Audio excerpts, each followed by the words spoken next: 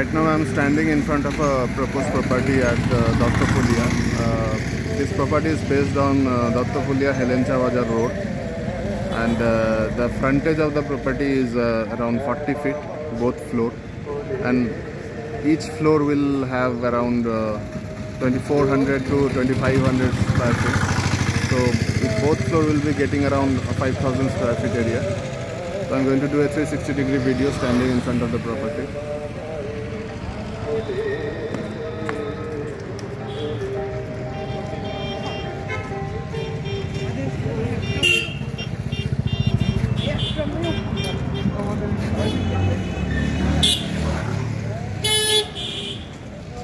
Thank you.